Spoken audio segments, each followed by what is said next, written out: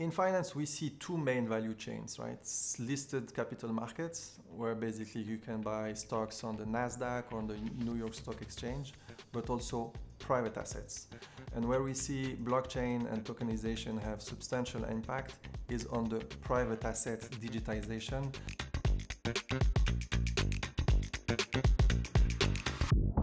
I'm Lamine. I'm uh, one of the co-founders of a company called Taurus. We are a Swiss-based digital asset infrastructure provider mainly focused on banks and large corporations.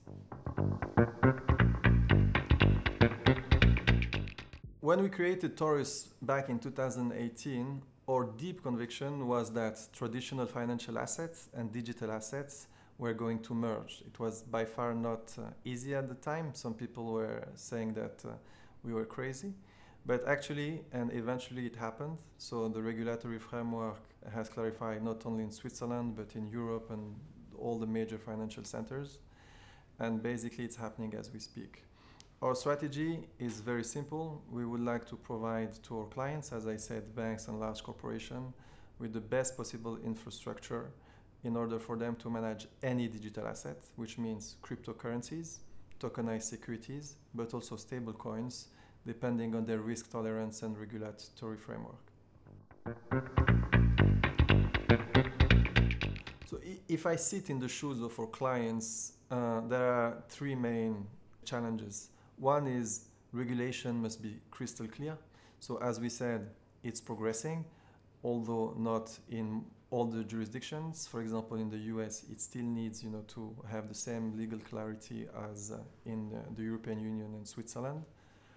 Number two is access to expertise. So they need solid technology providers such as us, but also some of our peers in order for them to you know, make their vision a reality. And uh, number three, when it comes to specifically uh, stable coins, we really need global stable coins, not only in US dollars, but also in euro, GBP, and the major currencies. Today at Taurus, we provide close to 30 uh, DLTs and blockchains to our clients, some including permission blockchains. And those clients, depending on where they are, depending on their regulatory obligation, have different preferences or different needs. Therefore, what we do at Taurus, we have built a tokenization engine that allows to issue and use smart contracts and bridges to allow those clients interact with different blockchains with a secure manner. And that's why also uh, CCIP from Chainlink is a very important um, uh, protocol we're working with.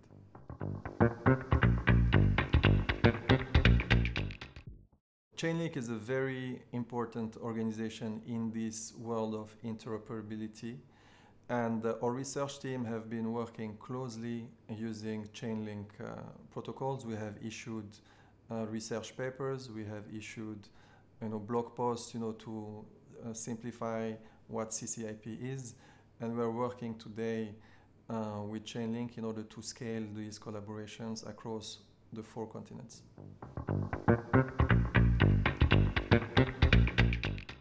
In finance, we see two main value chains, right? It's listed capital markets, where basically you can buy stocks on the NASDAQ or on the New York Stock Exchange, but also private assets.